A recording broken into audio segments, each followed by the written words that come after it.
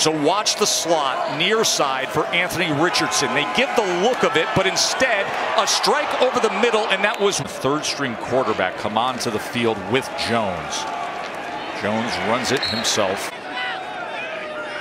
for Florida. True freshman quarterback. As he lowers his shoulder, he goes 6'4", 234 pounds. It has a leg up in the race, and I would think that Anthony Richardson's going to have every opportunity coming up in the spring. At a certain point. Richardson to pass here on first down. Now he tucks and runs, and you can see how he can accelerate. It's a good run by Anthony Richardson.